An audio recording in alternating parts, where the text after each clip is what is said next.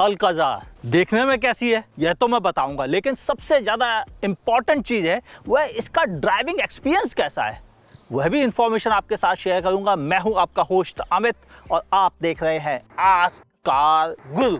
शुरुआत से अगर मैं बात करूँ तो अलकजार केवल, आप इसे एक नज़र में ये भी कह सकते हैं कि यह क्रेटा सेवन सीटर है। लेकिन बदलाव क्या क्या है? अगर इस बारे में बात की जाए तो सबसे बड़े बदलाव तो इसके फ्रंट एरिया से शुरू हो जाते हैं।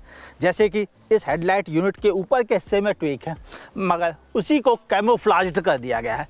मैंने तो देखा है तो मैं बता सकता हूँ, यहाँ की लाइनिंग भी काफ़ी डिफरेंट है, ये जुड़ा हुआ हिस्सा एक्चुअल में है। यहाँ पर आपको कैमरा मिल जाता है फ्रंट में। फ्रंट पार्किंग सेंसर्स भी मौजूद हैं, यानी अराउंड व्यू कैमरे की सुविधा भी इसी में मौजूद है, और नीचे आपको फॉग और कॉर्नरिंग लैम्प भी मिल जाता है।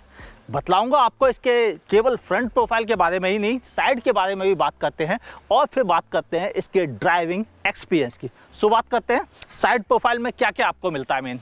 साइड प्रोफ़ाइल की बात की जाए आपको मिलते हैं 18 इंच के diamond cut alloy wheel 215 55 profile के टायर्स हैं। अपोलो के टायर्स में लगे हुए हैं।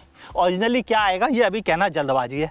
व्हील ट्रैवल ठीक ठीक सा है, कोई दिक्कत नहीं है। हालाँकि मुझे टायर का प्रोफ़ाइल थोड़ा छोटा लगा, ये सिक्सटी प्रोफ़ाइल होता तो कहीं ज़्यादा अच्छा लगता। व्हील आँच दे रखा गया है बिल्कुल वैसे ही, जैसे क्रेटा में मौजूद है। तो आपको उसमें कोई डिफरेंस नहीं लगेगा। डिफरेंस केवल यही है कि यहाँ पर अब आपको एट्टीन इंच की प्रोफ़ाइल मिल जाती है। अब बात करें आउटसाइड रेयर व्यू मिरर की। बड़ी साइज़ के हैं। इसी पर नीचे आपको अराउंड व्यू कैमरा भी मिल जाता है। साथ ही पडल लैंप की सुविधा भी उपलब्ध है। टर्न इंडिकेटर भी इसी पर आपको मिल जाते हैं। प्रोफ़ाइल देखने में अच्छा लग रहा है। एक बड़ी चीज़ जो डिफरेंस है वो ये कि अब आपको फुट रखने की जगह भी दे दी गई है इस कार में, ताकि आपको भीतर चढ़ने, उतरने में दिक्कत का सामना ना करना पड़े। हाँ ग्लास एरिया काफ़ी बड़ा है। उसको लेके कोई शिकायत नहीं है। ये दरवाज़ा भी अब पिछले क्रेटा के दरवाजे से बड़ा हो गया और ये ग्लास एरिया भी बड़ा हो गया है। चूँकि इस कार का व्हील बेस क्रेटा के मुकाबले काफ़ी इंक्रीज हो गया है। Two seven six zero M M wheel base होने की वजह से भीतर के हिस्से में काफ़ी बढ़ोतरी हो गई है और जिसकी वजह से भीतर बैठ के आपको क्लास्ट्रोफोबिक भी फील नहीं होगा। मैंने जो चीज़ और बेहतर नोटिस की है वो ये कि ये जो पिलर का डिज़ाइन एलिमेंट था, यह यहीं पे ख़त्म हो गया और इसके बाद इन्होंने क्वार्टर पैनल दे दिया है, जिसकी वजह से पीछे की रो में भी जो बच्चे वगैरह बैठते हैं, उनको दिक्कत का सामना नहीं करना पड़ेगा। हाँ मैं कार आपको खोल कर नहीं दिखा रहा हूँ, उसके लिए आप थोड़ा इंतज़ार कीजिए।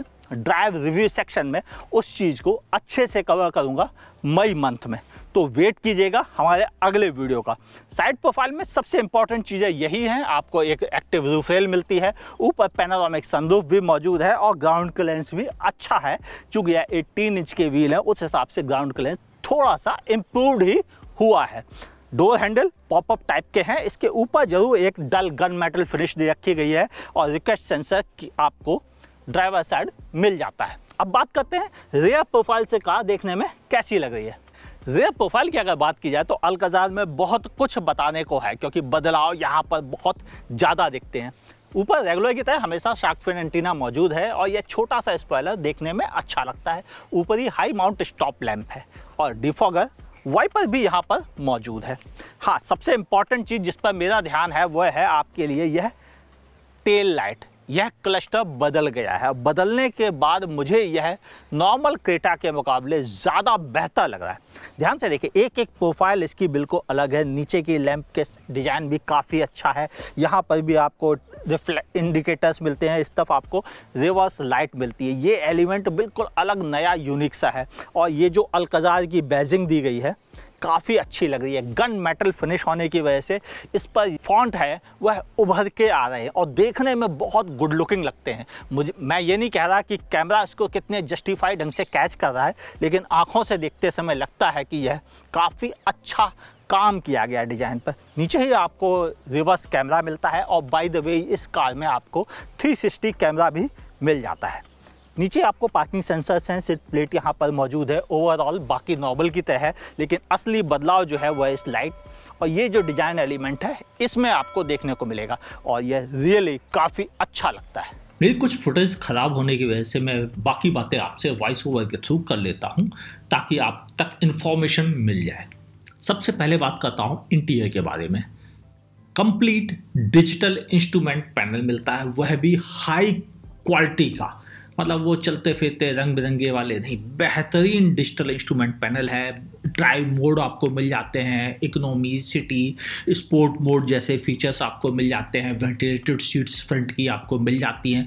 पीछे भी आपको वायरलेस चार्जर मिलता है। आगे तो मिलता ही है, पीछे की सीट पर के लिए भी आपको मिल जाता है वायरलेस चार्जर जो कि दोनों कैप्टन सीट के बीच में दे रखा गया है रियर सीट जो कि थर्ड रो की सीट है, उस पर भी आपको दो यूएसबी पोर्ट मिल जाते हैं। एक और कमाल की बात है कि उसे आप रिक्लाइन भी अपनी ज़रूरत के अनुसार कर सकते हैं। हाँ थोड़ी सीट की ऊंचाई कम है, जिसकी वजह से आपको अंडर थाई सपोर्ट कम मिलेगा। और शायद हम जैसे बड़े लोगों के बैठने की वहाँ पर जगह नहीं है, लेकिन कम हाइट के लोग आसानी से वहाँ पर बैठकर जर्नी कर सकते हैं। मिडिल रो बहुत शानदार है। उस पर आपको सेल्फ भी मिल जाती है ताकि आपने खाना वगैरह कुछ खाना चाहें तो वह भी कर सकते हैं। लैपटॉप पे काम करना चाहें तो आप कर सकते हैं और हर रो में आपको यूएसबी पोर्ट मिल जाते हैं। ये एक बड़ा प्लस पॉइंट है और जो फ्रंट में नॉर्मल फीचर्स अवेलेबल है म्यूज़िक सिस्टम के बोस वाले, वो आपको यहाँ भी मिलेंगे। लेकिन हमने बोस की ब्रांडिंग कहीं नहीं देखी, जिसे लेकर मैं अभी थोड़ा कंफ्यूज हूँ क्या यह बोस के ही स्पीकर हैं या फिर यह नॉर्मल स्पीकर है? अभी यह कंफर्म नहीं है, लेकिन मेरा ये मानना है कि जब क्रेटा में मिलते हैं तो इसमें भी मिलना ही चाहिए। एक और चीज़ है, जो लोअर वेरिएंट है, उसमें आपको 17 इंच के अलॉय व्हील्स मिल रहे हैं।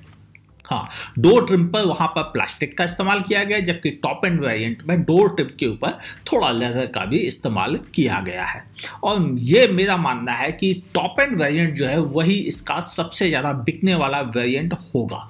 और जो भीतर की बातों को देख के भीतर झाँक कर समझ में आया, वो मैं आपके साथ शेयर कर देता हूँ। जो ड्राइव करते समय समझ में आया, वो आपके साथ शेयर कर देता हूँ। सीटें बहुत कंफर्टेबल हैं।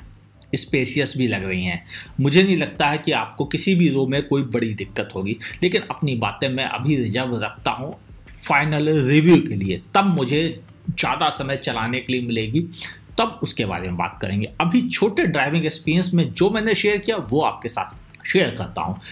लो स्पीड राइड बहुत अच्छी है। इंजन बिल्कुल नॉइज़ नहीं करता। यह नया टू लीटर का इंजन बहुत ही शानदार है।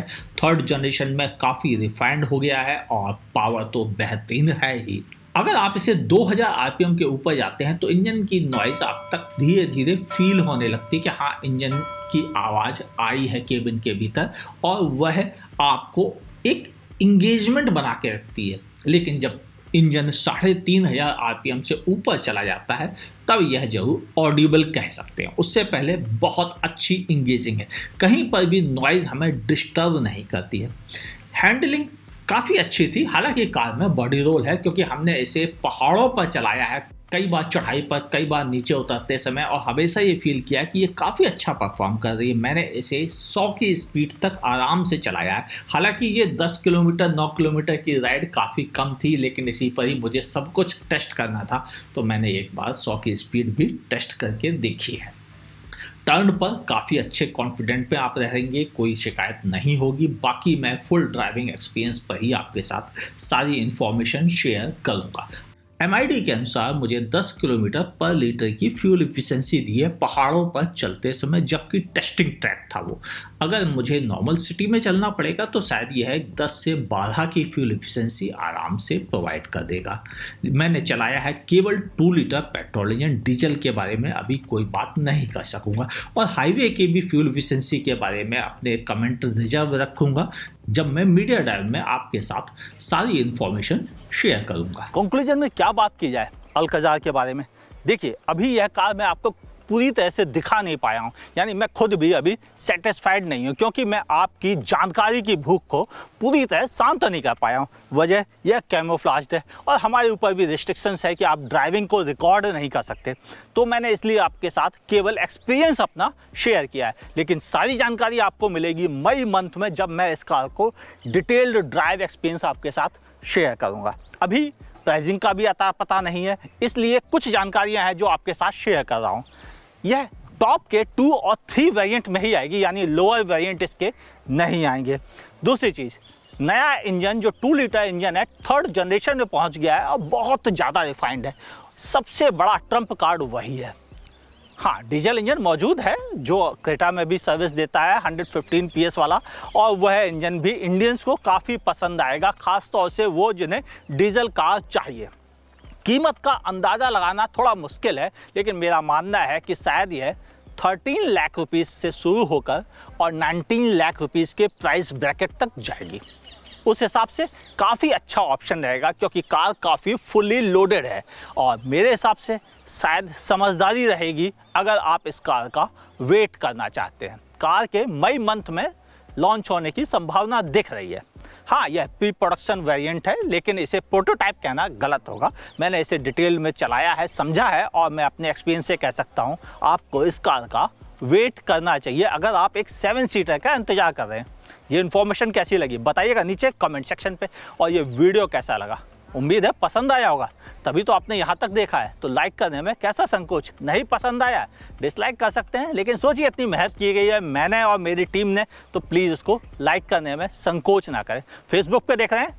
तो पेज को लाइक कीजिए फॉलो कीजिए यूट्यूब पे देख रहे हैं? तो चैनल को सब्सक्राइब कीजिए और नोटिफिकेशन ऑन करना ना भूलिए। मुलाकात होगी, क्या पता इसी के ड्राइव रिव्यू वीडियो के साथ। देखते रहिए, आस्क कार गुरु